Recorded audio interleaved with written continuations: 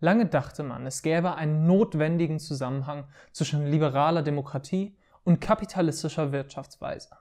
Klar, es gab da ein paar Ausrutscher, aber grundsätzlich würde sich doch beides irgendwann durchsetzen, oder? Schließlich passt es doch so schön zusammen. Von Linken wurde das seit jeher in Frage gestellt und langsam machen sich auch liberale DenkerInnen Sorgen, ob das überhaupt stimmt. Schließlich sehen wir weltweit, wie autoritäre Systeme auch ganz wunderbar mit dem Kapitalismus und auch mit der Demokratie koexistieren können. Aber wie lässt sich die Verwandlung einer liberalen in eine autoritäre Demokratie nachvollziehen? Karl Marx hat dazu 1852, also vor mehr als 150 Jahren, einen entscheidenden Text veröffentlicht mit dem Namen Der 18. Brumaire des Louis Bonaparte. Dort analysiert er die Revolution und Konterrevolution in Frankreich nach 1848, die in der autoritären Herrschaft von Louis Bonaparte mündete. Können wir heute den Aufstieg von Trump und Marx verstehen? Denn selbst wenn Trump die Wahl am Dienstag verlieren sollte, sind die Ursachen dafür, dass er vier Jahre lang mit gewissem Erfolg versucht hat, die USA in einen autoritären Staat zu verwandeln, noch lange nicht gebändigt. Wir sollten also versuchen, diese besser zu verstehen.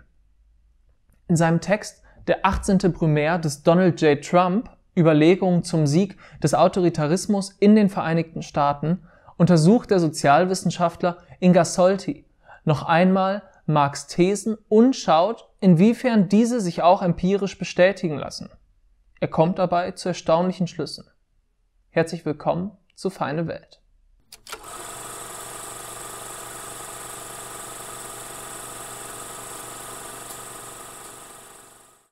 Der Kapitalismus hat in der Demokratie ein recht grundlegendes Problem. Ökonomisch herrscht die Bourgeoisie. Das heißt, dass die Minderheit, die die notwendigen Produktionsmittel wie Fabriken oder Büros, Maschinen oder Laptops besitzen, diejenigen sind, die entscheiden, wer, wann, wie lange und woran arbeitet. Aber wie sichert man diese ökonomische Herrschaft, wenn die Mehrheit ihr das politisch auch einfach verbieten könnte? Schließlich könnten wir in der Demokratie auch einfach entscheiden, dass es zum Beispiel verboten ist, Leute für sich arbeiten zu lassen. Die Frage lautet also, welche Form der Herrschaft die kapitalistische Produktionsweise sichern kann. Darauf gab es in der Linken unterschiedliche Antworten. Lenin zum Beispiel hielt die Demokratie dennoch für die beste Form, die kritische Theorie hingegen meinte, dass ein autoritäres oder sogar faschistisches System eigentlich am besten wäre. Insgesamt hat die Geschichte aber gezeigt, dass viele Formen politischer Herrschaft den Rahmen für eine kapitalistische Wirtschaftsweise schaffen können. Vielleicht lassen sich aber ja Gründe oder Tendenzen identifizieren, wann und warum sich eher liberale oder autoritäre Formen der Herrschaft durchgesetzt haben. Schauen wir also einmal bei Marx. Im 18. Brumaire untersucht er den Staatsstreich von Louis Bonaparte. Dieser hatte zuerst die Präsidentenwahl in Frankreich gewonnen um sich dann durch den Staatsstreich ein Jahr später zum Kaiser ausrufen zu lassen und autoritär über Frankreich zu herrschen. Eine von Marx wichtigsten Thesen in diesem Text lautet nun, dass sich dieser autoritäre Herrscher nur durchsetzen konnte, weil eine politische Lücke entstand. Die Bourgeoisie war nicht stark genug, um unangefochten zu herrschen. Die linken Kräfte einer sozialen Revolution waren aber ebenfalls nicht stark genug, um die Herrschaft selbst zu übernehmen. Es steht also nun, wenn wir uns die USA anschauen wollen, die Frage im Raum, inwiefern die Bourgeoisie oder etwas moderner formuliert, die ökonomische Elite in den USA zur Zeit von Trumps Wahl geschwächt war. Die Schwäche müssen wir dabei nicht als reale Schwäche im Sinne ihrer tatsächlichen Macht verstehen, sondern als Schwäche der Akzeptanz. Schließlich geht es ja um die Politik und die Frage, inwiefern sie ihre politische Macht legitimieren können. Festzuhalten ist, dass die Politik in den USA infolge von der Finanzkrise von 2008 und Obamas Austeritätspolitik ab 2010 ein Vertrauensproblem entwickelte. Die Zustimmungsraten der Bevölkerung bezüglich der parlamentarischen Arbeit hat im Zuge dieser Krise einen historischen Tiefstand erreicht. Eine Woche vor den Wahlen 2016 hatten nur 15 Prozent der AmerikanerInnen eine positive Meinung zur Arbeit des Kongresses. Bei 76 Prozent stieß sie hingegen auf Ablehnung. Die etablierten Kandidatinnen bei der Präsidentschaftswahl standen jedoch alle, naja, für das Establishment. wodurch eine gewisse Lücke in der Politik entstand, die ausgefüllt werden konnte durch populistische Kandidaten wie Trump oder Bernie Sanders. Dass Trump also kein Kandidat der Bourgeoisie bzw. der wirtschaftlichen Elite war, mag erst einmal komisch anmuten, schließlich ist er ja ganz offensichtlich Teil von ihr. Aber der größte Teil der Unternehmensspenden ging auf Clintons Konto.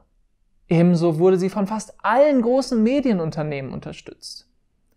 Selbst in seiner eigenen Partei hatte Trump zu Beginn keine loyale Gefolgschaft, da er sich gegen den Freihandel und gegen die Einmischung Amerikas in internationalen Konflikten stellte.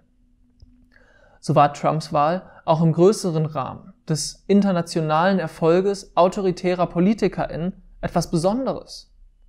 Er hat keine neue Partei gegründet und dann Sieger eingefahren, sondern hat eine große Volkspartei von innen heraus in eine offen autoritäre Richtung verändert und sich gegen die Parteielite durchgesetzt. Insofern lässt sich insgesamt sagen, dass, ähnlich wie es Marx damals in Frankreich analysiert hat, die bürgerliche Politik in eine Krise geraten ist. Ihr uneingeschränkter Machtanspruch ist nicht mehr so stark, wie er es Jahrzehnte zuvor war. Aber können wir wirklich von einer bonapartistischen Situation in Amerika sprechen? Der Kern von Marx Gedanken ist ja schließlich, dass ein solcher autoritärer Staat aus einem Gleichgewicht im Klassenkampf entsteht.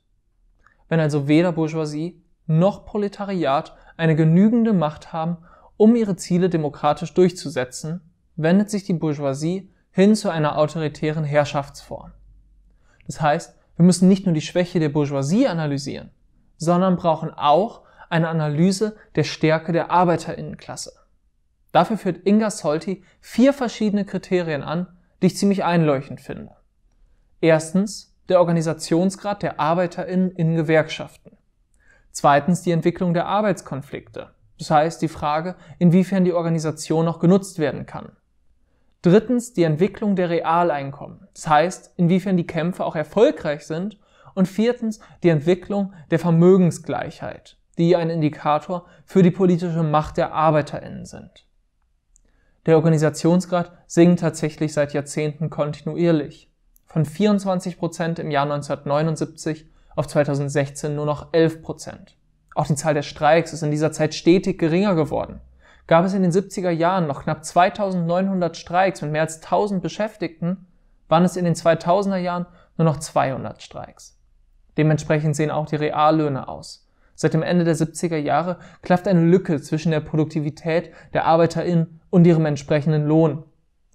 Und auch die Vermögensungleichheit hat schon vor Obamas Amtsantritt den höchsten Wert seit dem Beginn der Weltwirtschaftskrise der 30er Jahre erreicht und stieg seitdem nur noch weiter an.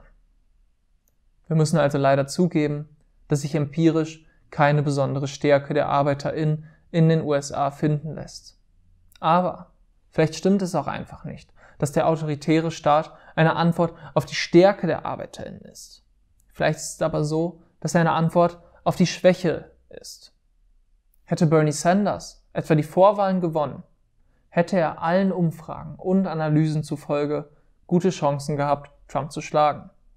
Nur durch die Stärke der Bourgeoisie, deren Interesse Hillary Clinton eins zu eins vertrat, wurde Trump ermöglicht. Es sind also drei Momente, die zusammengekommen sind, um den autoritären Backlash in den USA zu ermöglichen. Erstens die Schwäche der Bourgeoisie und zweitens die gleichzeitige Stärke an anderer Stelle, sowie drittens die Schwäche der ArbeiterInnen. Vielleicht könnte man insgesamt sagen, dass die Uneinigkeit beider Klassen die Grundlage für das aktuelle Geschehen ist. So entsteht eben aus dem nicht so klaren Klassenkampf eine politische Lücke, die Leute wie Sanders und Trump nutzen konnten und die Marx schon vor mehr als 150 Jahren aufgespürt hat. Wie aktuell Marx Analyse ist, sieht man auch allein an den Worten am Ende seiner Analyse. Man wäre doch wirklich blind, wenn man hier nichts von Trump wiedererkennen würde. Zitat. Bonaparte bringt die ganze bürgerliche Wirtschaft in Wirrwarr tastet alles an, was der Revolution von 1848 unantastbar schien. Er zeugt die Anarchie selbst im Namen der Ordnung, während er zugleich der ganzen Staatsmaschine den Heiligenschein abstreift, sie profaniert, sie zugleich ekelhaft und lächerlich macht. Die Entscheidung, ob Trump aber nun die Tragödie oder doch nur die Farce ist, überlasse ich aber gerne euch. Vielen Dank fürs Zuschauen. Wenn du dich für die US-Wahl interessierst, empfehle ich dir den Livestream von halb 10 FM in der Wahlnacht. Den Link dazu findest du unten in der Videobeschreibung. Ich werde auch zwischendurch dabei sein und ein bisschen darüber sprechen, ob man die politische Situation heute mit derjenigen vergleichen kann, die Marx analysiert hat. Folg mir einfach bei Twitter oder Instagram, um zu erfahren, wann genau ich dabei sein werde. Wenn dir das Video gefallen hat, kannst du mich gerne unterstützen, indem du das Video mit Freundinnen oder auf Twitter oder Instagram teilst. Vielen Dank.